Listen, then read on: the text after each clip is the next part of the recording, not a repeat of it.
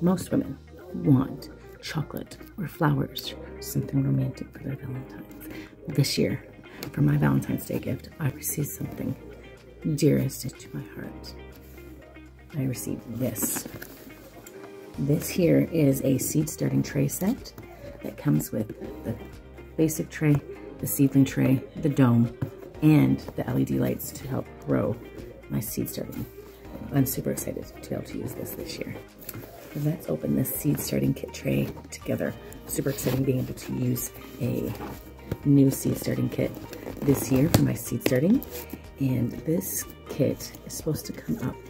You're supposed to be able to grow 60 seed starts all at the same time with this kit. So I am super excited about trying to see what is in this kit.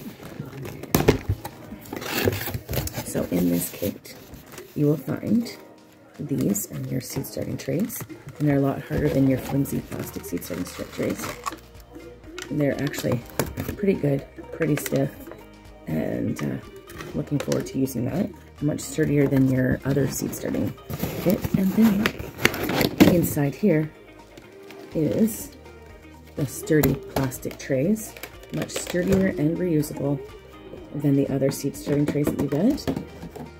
There's also, here's the domes, which I'm looking forward to using. Oh my goodness, guys. I knew that it came with the LED lights for this, which it comes with all five LED lights, but it also comes with a little seed starting trowels, some scoops, a little hole maker. You gotta be kidding me. I can use this out in the garden too.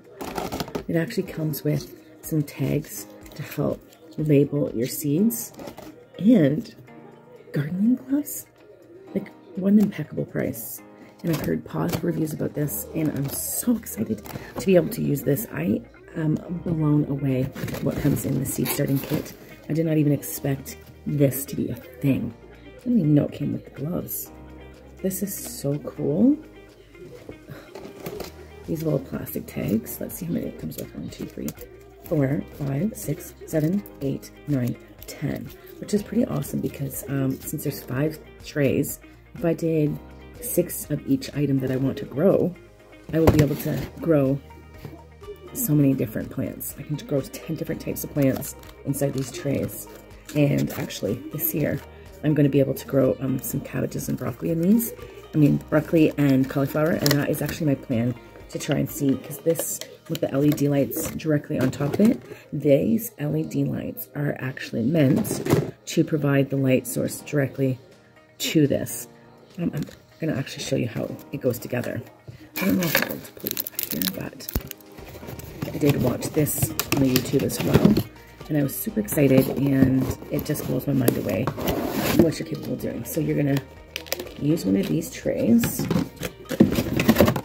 and you'll see this is not flimsy like those black trays. I think because it's more smaller, that it gives you that better compact feel as well. And then you're going to take one of these trays here, which once they're individual, they're more clear. You can actually see the roots of your seeds, which will be so amazing. But you'll put that inside and see how nicely that fits. And then you're gonna get a dome. So after you get your seeds already started, you moisten your seeds. We all know that the moisture from the dome really helps um, your seedlings and creating that greenhouse effect. Take this apart. So on here, you'll see the circle for the dome and you can put this on top of your tray and then this LED light actually pops right in place. So I'm gonna pop it right in place. You see there?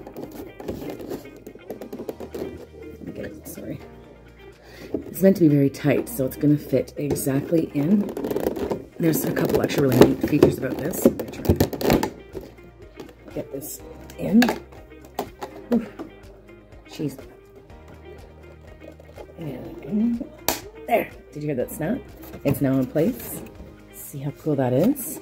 And it does come with all of the, um, so this is your wiring. So what's really cool is every single one of these, so you'll have to connect this to a USB um, box, which is fine because I have the USB box Uh, all five of these can come around so you can actually stretch your um, plants all around in whichever direction you want.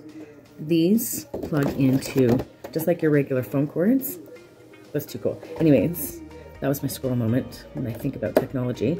But you're gonna put this inside the port here, and then this should light up. I don't know if I have a box that's close enough to me to show you how that works, but that's how it's gonna look. And then all five will be connected, but you'll see these holes. You can actually open it for ventilation and then close it to have the barrier. So it can still get air ventilation.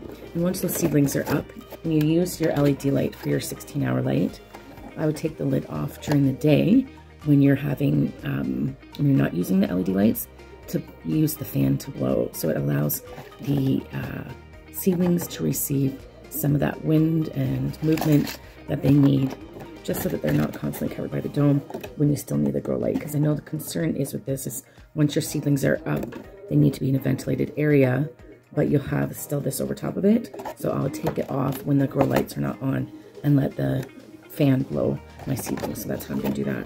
But how cool is that? I'm super excited to use this product and to be able to grow even more seedlings this year. So not only can I use the grow light um, that I have set up already, but I can also do this in area. So I'm super excited to do this. Actually, that means I can use my top shelf of the grow lights on the two bottom shelves, but on the very top shelf where there is no lights because you can't have lights on the top shelf.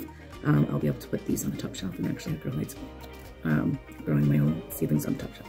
So I'm super excited about that as well. Anyways, thank you guys for coming along with me and enjoying this video. If you like this, and just go ahead and thumbs up. I'm going to continue on my journey.